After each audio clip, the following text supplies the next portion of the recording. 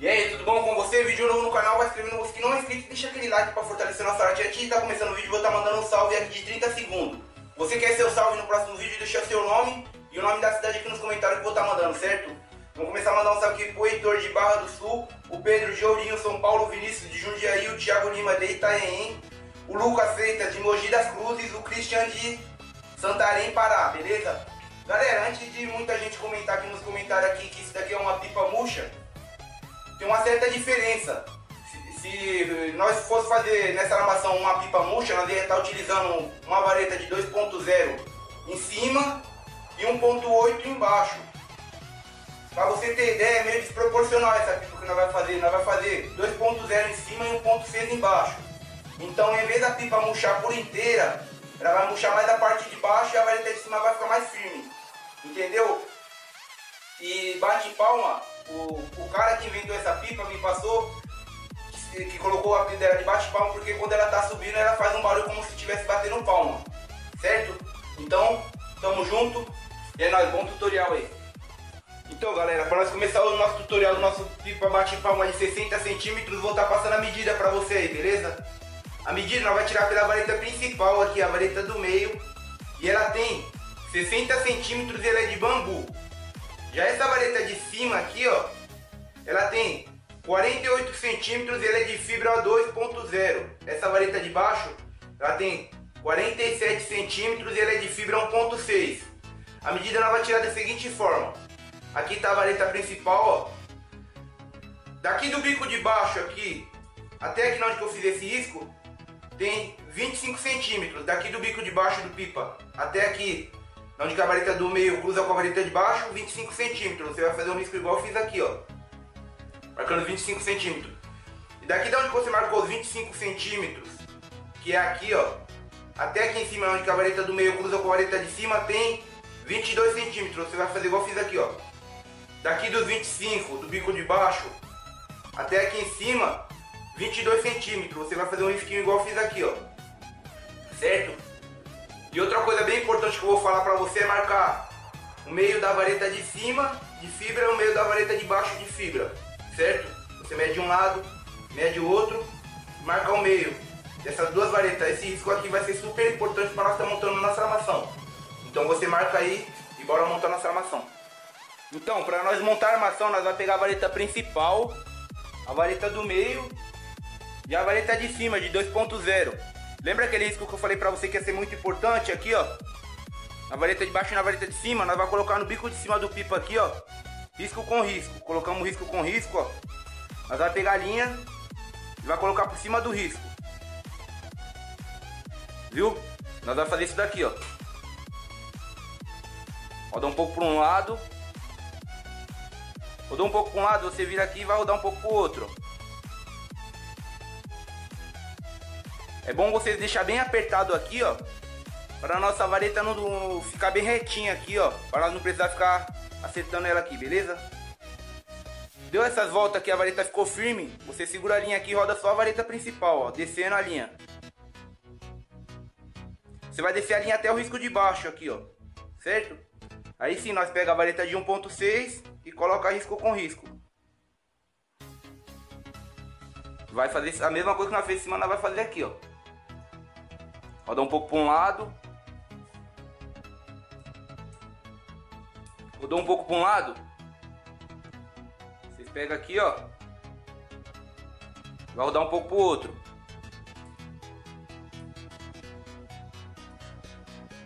Feito isso, tá bem firme a vareta aqui, ó. Você vai segurar a linha aqui e vai rodar até a ponta da vareta de baixo aqui, ó. Vai dar um nó certo? Puxa pra cima. Eu vou fazer o seguinte agora. Vou dar uma pausa no vídeo aqui só pra me trocar a bateria da câmera e já volto já. Aí, trocada a bateria da câmera, vamos voltar onde nós parou aqui, ó. Vocês enrolou a linha até aqui, deu umas voltas, deu um laço aqui. Você vai fazer o seguinte, vai segurar aqui, ó, a vareta, pra vareta não ter o risco de entortar, que ela tem que ficar reta. E vai descer aqui, ó, sem puxar muito a linha pra vareta não envergar, ó. Desci pra cá. Vou dar umas voltas aqui, ó. Baixo. Vou dar um laço. Puxa pra cima. Você vai subir pra cá, ó. Continua segurando aqui assim, ó. Pra não ter o risco da vareta envergar. Vou dar umas voltas aqui na ponta.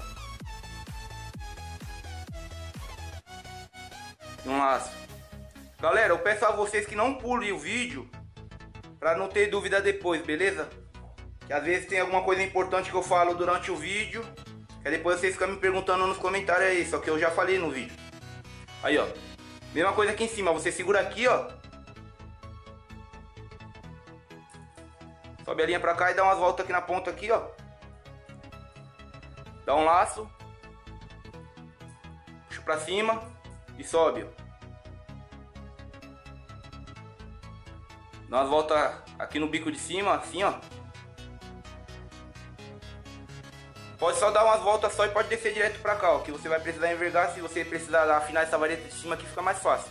E você só desenrolar e afinar. Aqui, ó, desceu pra cá, ó, segurou aqui, ó. Desceu pra cá. Dá umas voltas aqui, ó. A ponta, dá o laço. Puxou pra cima, vai descer, ó. Dá umas voltas aqui na ponta. Dá o laço. Puxou. Deixa eu quebrar aqui. Aí, ó. Tá prontinha a nossa armação. Agora nós vai encapar ela, beleza? Galera, olha a estampa que eu vou utilizar para estar tá fazendo nossa pipa. Vai ficar show de bola. Era uma estampa dessa daqui, ó. Toda preta. Aí eu optei por cortar aqui e aqui colocar uma moldura azul em volta. E ficou show de bola. Então vamos encapar a pipa, então. Para encapar, vou virar aqui para deixar o lado do fosco da folha. Ó. Certo? E vou passar a cola aqui, ó. Primeiro, Passa cola na vareta de cima aqui, ó. Eu dou alguns pingos, depois eu só dou uma espalhada com o dedo. Aí, eu vou espalhar, ó. Aí. Nessa parte do meio aqui você não vai passar cola, você vai passar na outra fibra de baixo aqui, ó.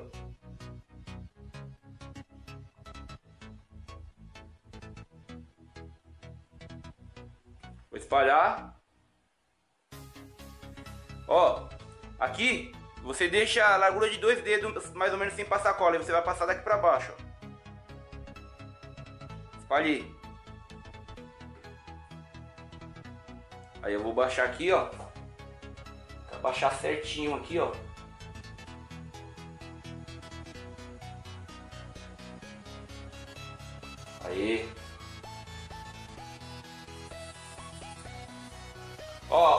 Dica que eu vou dar pra você, sempre deixa mais ou menos um centímetro de folha sobrando aqui, ó, pra fora da vareta aqui em cima, ó, pra nós poder dobrar depois. Pra depois você não precisar ficar cortando, entendeu? Aqui, ó. Colocou a armação em cima, você vai virar a folha aqui, ó.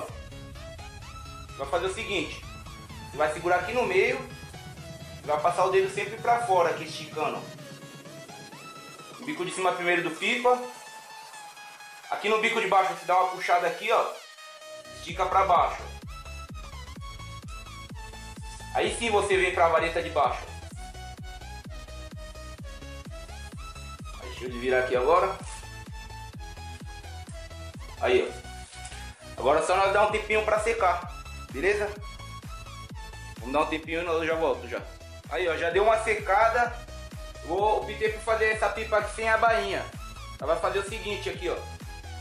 Ela vai passar a cola em volta dela aqui, assim, ó. Por cima da linha aqui, ó. Desse jeito.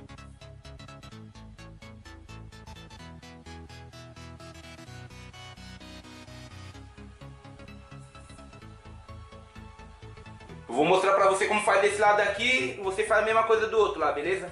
Aí, ó. Passou a cola, você só espalha com o dedo assim, ó. Pra quê? A linha poder colar no papel. Ó. Aí, ó. Certo? Fazer a mesma coisa desse lado aqui, ó.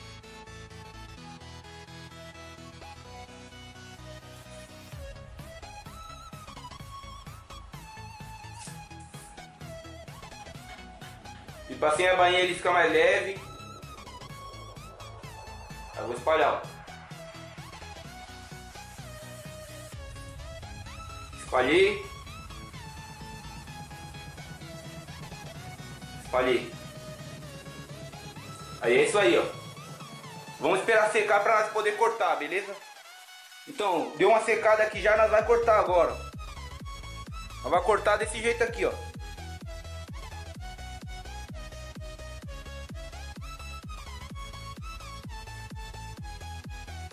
Em volta da pipa toda, pode cortar bem encostadinho da linha aqui, ó. Tô acostumando com essa tesoura aqui porque eu trabalhava com a minha amarela, só que sumiu, eu tive que comprar essa daqui. Aí, ó.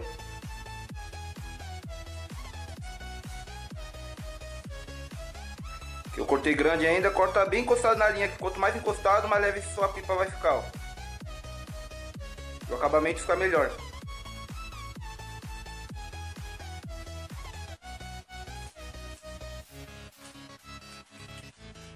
Aí, ó.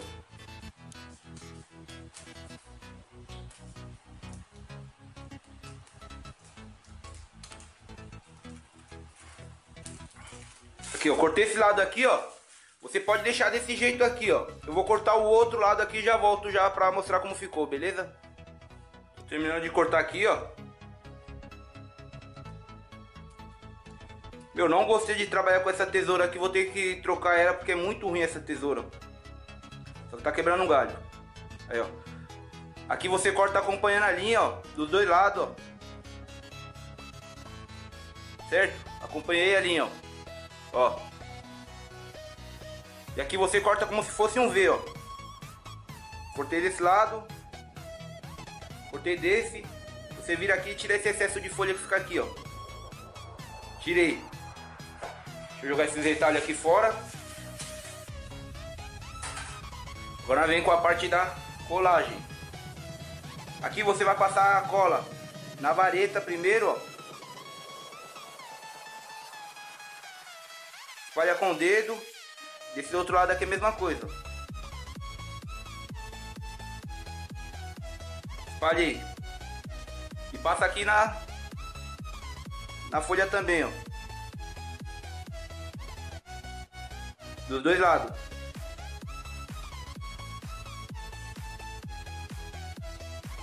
Aí. Aqui você vai dobrar para trás aqui, ó. Deixa eu pôr aqui na mesa para ficar melhor. Só dobrar a folha por cima da vareta. Você nunca passa o dedo escorregando assim, você sempre amassa aqui, ó. Por cima da vareta. Correu um pouquinho aqui, aí. Do outro lado aqui a mesma coisa.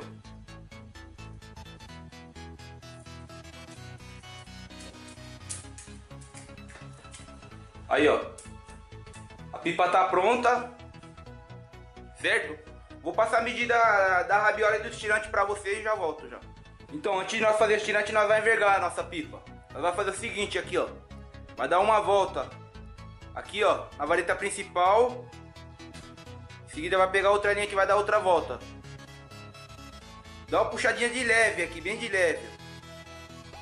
Só pra linha firmar aqui, ó. Ó. Aí, ó. Já deu uma envergada. Pode ver que a vareta de cima aqui ficou curva. Essa é a envergação da pipa. E pra fazer o tirante, nós vai estar utilizando em torno de 2,80m de linha. Sendo que eu juntei as duas pontas dela, ó. E vou dar um nó. Com a dobra. Certo? Uma ponta da linha vai amarrar direto aqui na vareta, ó. Pode amarrar direto na vareta que não vai ter o risco de subir depois, ó. Vou dar um nó. Pera aí, não deu certo aqui não. Deixa eu arrumar aqui aí. Vou dar um nó aqui, ó. Bem apertado em seguida vou dar outro nó. Aí. Aí nós vai puxar aqui, vai pegar outra ponta. E vai passar nesses dois furos que eu fiz aqui, ó. Deixa eu ver se consigo mostrar. Fiz um desse lado aqui e outro do outro lado, ó. E daqui do bico do pipa até aqui em cima, 15 centímetros. Vou pegar uma ponta da linha, a outra ponta, ó. Vou passar em um dos furos. Saiu aqui atrás, ó. E vou passar no outro furo para sair novamente aqui na frente, ó. Puxei. O que eu falo em todos os vídeos é sempre deixar a linha sobrando aqui para fora, ó. Ó. Para fora da pipa. Linha sobrando aqui para baixo. Vou dar um nó. Dei um nó. Seguida vou dar outro nó.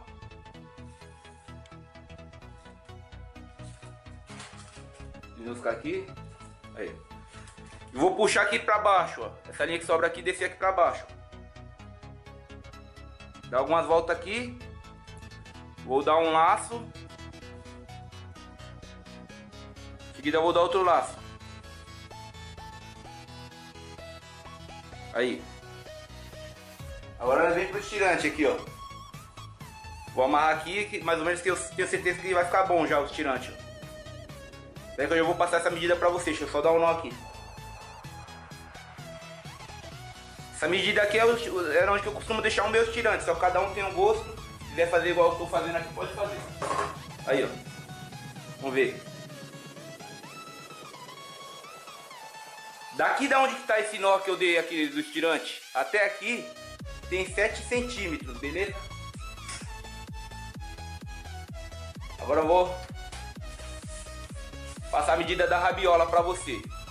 Essa rabiola que eu estou utilizando, ela tem as fitinhas de 15 centímetros e a distância de uma para outra 12 centímetros. E o tamanho total da rabiola tá dando em torno de 5 metros, beleza? Aí, ó. Vou pegar aqui a rabiola e vou amarrar nessa linha que sobrou do, estirante aqui, lembra a linha, ó? Que desceu aqui para baixo. Vou amarrar aqui, ó. Dei um nó. Cadê a tesoura para me cortar? Aqui. Esse excesso de líquido fica aqui. Tô falando que essa tesoura é ruim, ó. ó. Não corta, meu. Tá na hora de eu comprar outra tesoura. A minha perdi. Minha tesoura boa que eu gostava de trabalhar. Aí, ó, como ficou. A nossa pipa tá pronta. Pra você que gostou do vídeo, deixa aquele like e em breve vou estar tá testando ela aí, beleza? Que não tenho ninguém pra me ajudar a gravar, pra me estar tá testando. O rapaz que me ajudava me abandonou. Não quer mais me ajudar. Beleza? Então, tamo junto. E é nóis. Fui, até o próximo tutorial aí.